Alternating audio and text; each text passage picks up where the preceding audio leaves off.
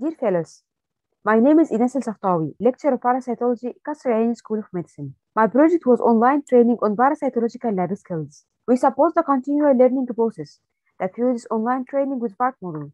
We exploited the social media in our networks as a dynamic training tool and the platform free of charge. The tool included several medical and laboratory skills concerning applied parasitology. Using WhatsApp, three waves of revisions were executed.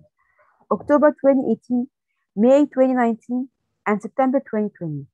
Each wave was for consecutive 40 days in the form of dictated notes and shared labeled images. In February 2021, a Facebook page loaded with the training material was instructed. Invitations and announcements for the training program were performed. Interactivity regarding each tool was recorded and matched on VARK model.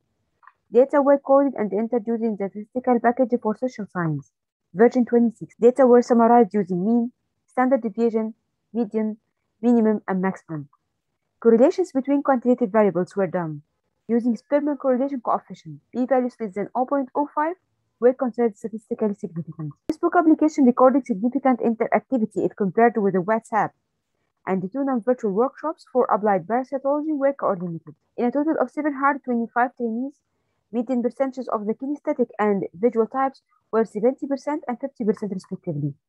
Nevertheless, the auditory and reading writing types recording 10% and 5% respectively. There were no significant correlations between the number of views and length of videos, the number of, vi of views and duration of publication, or the duration of the publication and length of the videos. We concluded that Facebook, despite being an approachable tool for a dynamic activity of teaching learning through the habit of scrolling through the daily posts, propagation of the posts appeared to be context dependent in regard to the definite needs of the trainee in their labs. It evidenced to be a prompt means to approach the multimodal type of trainee and support them with the technical skills via non-virtual workshops.